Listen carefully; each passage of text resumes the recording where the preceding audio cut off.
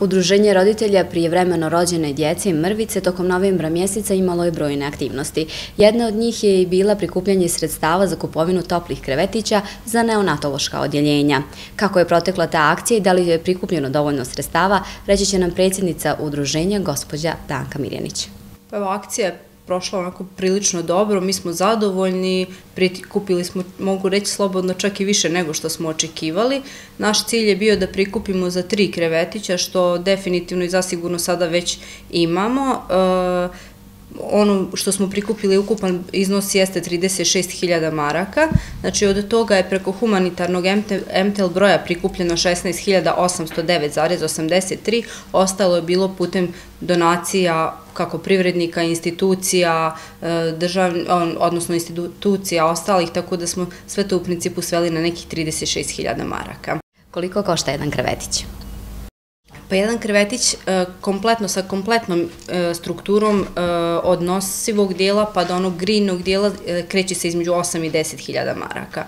Mi ćemo u narednom periodu sa početkom nove godine dok prođu predstojići praznici dogovoriti sastanak sa kliničkim centrom Banja Luka i iskontaktirati još neke bolnice gdje postoje neonatološka odjeljenja da vidimo šta su njihove potrebe jer se ti zapravo krevetići mogu kupovati i u određenim dijelovima. Znači ako imaju nosivu e, podlogu, znači da mogu u već postojeće krevetiće koje postoje na odjeljenjima dodati uh, dio koji je bitan za grijanje djece, onda ćemo ići na tu nabavku. Naravno, ako oni procjene da im je potrebna kompletna struktura, onda ćemo ići na tu varijantu. Znači, to sa slijediti dogovori, naravno, zavisno od toga i zavisi koji ćemo broj krevetića zapravo nabavljati.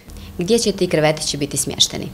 Pa za sada ćemo ići na Univerzitetsko-klinički centar Banja Luka. E, imamo i određene bolnice e, po Republici Srpskoj gdje postoje odjeljenja, znači u sklopu pedijatrije, pa gdje imaju neonatološka odjeljenja, recimo Istočno Sarajevo ima takvo odjeljenje, vjerovatno će jedan krevetić ići i njima, ali to ćemo u narednom periodu tačno definisati, zavisno od njihovih potreba i šta su umeđu vremenu oni nabavili. Šta će to značiti za odjeljenja i sve prije vremena rođene bebe? Pa to znači u principu e, veliku stvar. Iz prostog razloga što sva ta djeca koja se prije vremeno rode e, prvenstveno idu u inkubatore. U nedostatkom ovih toplih krevetića zapravo inkubator često bude duže zauzet nego što je on potreban samom djetetu.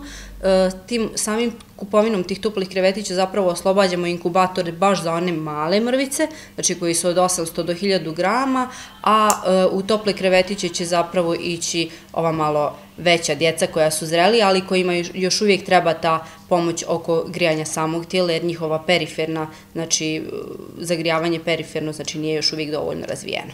Osim tih krevetića, šta je još potrebno? Pa ima dosta niz tih stvari koja je potrebna, mi ćemo u narednom periodu i to definisati. Moguće je da ćemo mi kroz, ići ćemo akcenati na toplim krevetićima. Naravno, kada vidimo koji je to broj krevetića, ukoliko ostane neki sredstava da se još nešto što je njima preko potrebno nabavi, naravno da ćemo ići i u tom pravcu. To nam sada slijedi, znači kroz razgovore sa bolnicama i sa znači, ljekarima koji se baš bave znači, sa e, zbrinjavanjem naših, naših mrvica, odnosno prijevremeno rođene djece, ćemo u narednom periodu to de, definišemo tačno. Koliko vi imate članova i koliko se uopšte godišnje prijevremeno rodi beba? Pa sve je češće i češće, nažalost. Mi e, težimo ka tome da se to što manje dešava, međutim postotak prije vremeno rođene djece je oko 10% na svjetskom nivou.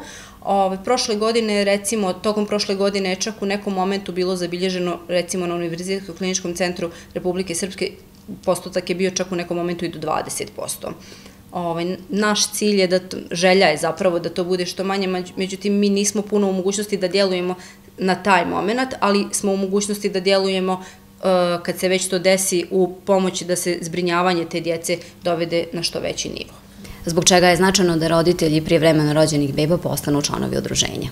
Nama je veoma bitno da se svi roditelji jave u druženju, postanu članovi iz prostog razloga što mi sa komunikacijom sa roditeljima dobijamo informacije šta je našoj djeci potrebno, kakva djeca, s kakvim problemima se djeca susreću i u tom pravcu znači e, da možemo i bitno je znači to da možemo od tih informacija djelovati u pravcu da toj našoj djeci zapravo pomognemo. Imamo dosta situacija, recimo često se desi da, mislim često, od tih 10% rođene djece recimo 2% recimo, zadesi se da imaju cerebralnu paralizu, E, nama ta informacija zapravo treba od roditelja, jer to se uspostavi, ta diagnoza se uspostavi tokom prve, druge ili treće godine života i nama je baš iz tog razloga potrebno članstvo roditelja da dobijemo informaciju šta zapravo, s kojim problemima se djeca susreću i da možemo pravovremeno da djelujemo, odnosno da na neki način nađemo način da im pomognemo kako roditeljima, što finansijski, što uz, znači nađemo načine kako i u kom pravcu da djelujemo. Ali tu je bitna, vrlo, vrlo bitna, veoma bitna znači podrška roditelja, odnosno javljanje roditelja u udruženje.